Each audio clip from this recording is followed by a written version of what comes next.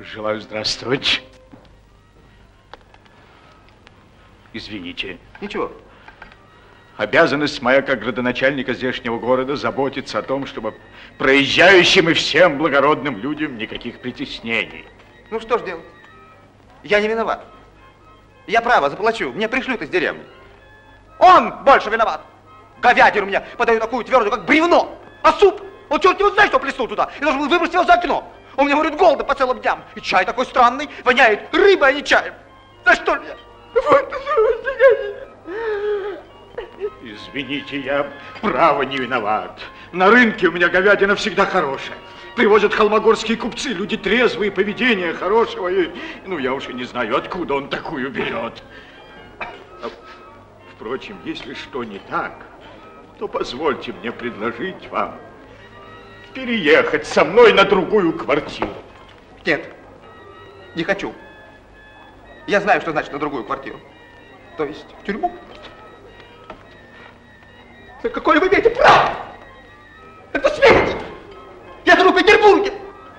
Я, я, я... Господи, боже ты мой, какой сердитый, все узнал. Все рассказали проклятые купцы. Вот вы тут со всей своей командой не пойду. Я прямо к министру. Что, что? Не погубите. Не погубите. Жена, дети малые, не сделайте несчастным человеком. Что вы сами посудите? От того, что у вас жена и дети малые, я должен идти в тюрьму. Я благодарю покорно, я не хочу. По неопытности, ей-богу, по неопытности, недостаточность состояния. Посудите сами, казенного жалования не хватает даже на чай и сахар, если же были какие-то взятки. Ну, самую малость, к столу что-нибудь да на пару платья. Что до унтер-офицерской вдовы, которую я будто бы высек, вот это клевета. Это злодеи мои, это, это такой народ, они на жизнь мою готовы покусить. Да что мне никакого дела нет до них? Ну, так я, я не понимаю, вы чего не рассказываете о злодеях или какой-то унтер-офицерской жене? Унтер-офицерская жена совсем другое дело. А меня вы не смеете, Мисич, вам до этого далеко. Ж ты, смотри, ты какой. Я заплачу, заплачу деньги, у меня теперь нет. Я потому и торчу здесь, что у меня нет ни копейки.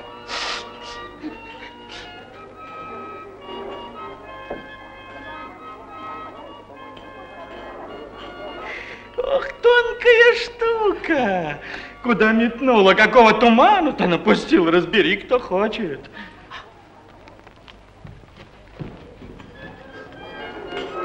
Если впрямь вы имеете нужду в деньгах или в чем другом, извольте, я готов служить сию минуту. Обязанность моя помогать проезжающим. Дайте, дайте мне взаймы. Я сейчас же расплачусь с трактирщиком.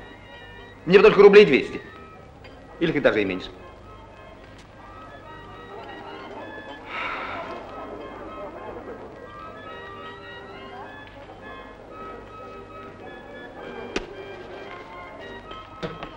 Ровно, ровно 200 рублей, хоть и не трудитесь считать. Покорнейше благодарю. Я вам точно пришлю их из деревни, меня это вдруг. А вы какие же вы благородный человек. Ну, теперь другое дело. Слава тебе, Господи, деньги взял. Теперь, кажется, дело пойдет на лад. Я таким вместо 200-400 верну. Как же 200, когда тут... э, Это... Ага. Эй, Осип! Осип! Позови сюда трактирного слугу! А что же вы стоите, господа? Дело имел, садитесь. Садитесь. Ну, садитесь, прошу покорнейше. Ничего, мы и так постоим. Садитесь. Я теперь совершенно вижу откровенность вашего нрава и радушия. А то, признаюсь, я уже думал, что вы пришли сюда за тем, чтобы меня это... А мы вот с Петром Ивановичем Добчинским, здешним помещиком, прогуливались по делам должности. Ну и нарочно зашли в гостиницу, чтобы осведомиться, хорошо ли содержатся проезжающие. И вот как будто в награду случай представил такое приятное знакомство. Я сам тоже очень рад.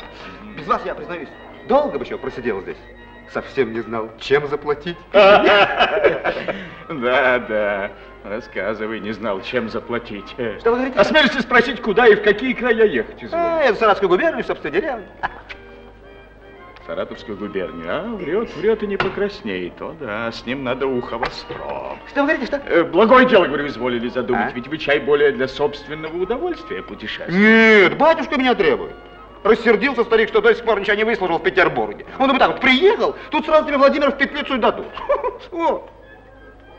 Я сначала послал его самого потолкаться в канцелярию. Ай! Прошу посмотреть, какие пули отливает из старика отца приплела. Э, И надолго изволите ли ехать? Право, не знаю. Ведь мой отец упрям и туп, старый хрен, как бревно. Ну, я вам прямо скажу. Как хотите, я не могу жить без Петербурга. За что, в самом деле, я должен погубить свою жизнь с мужиками? А, теперь не те потребности, душа моя жаждет. Просвещение. Славно завязал узелок. Врет, врет и нигде не оборвется. А ведь какой невзрачный на вид-то, кажется, ногтем бы придавил его. Что вы? Справедливо, говорю, изволили заметить. Ну, что можно сделать в глуши? Вот хотя бы здесь, ночей не спишь, стараешься для Отечества, не жалеешь ничего, а награда? Неизвестно еще, когда будет. Кажется, эта комната несколько сыра. Да, скверная комната.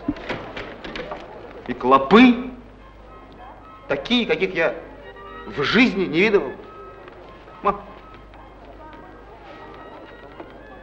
О, пожалуйста. Как собаки кусают.